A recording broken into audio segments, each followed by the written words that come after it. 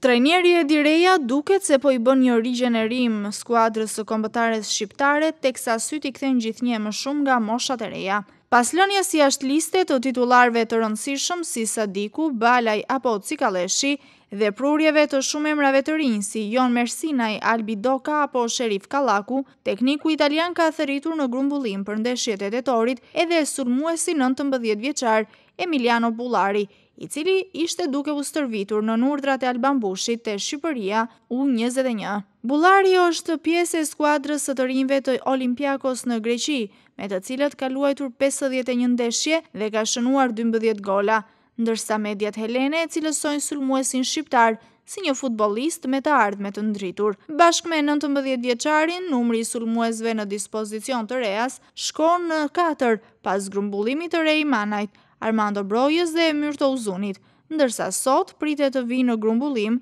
edhe sulmuesi i Juventusit, Giacomo Vrioni. Në dispozicion të Rejës është vënë edhe portieri Gentian Selmani, i cili u thirr nga shtatëdhjetë e pesë vjeçari italian pas situatës emergjente në portë, ku është konfirmuar mungesa e Etrit Berishës dhe ka dyshime për Strakoshën, i cili për momentin është i dëmtuar.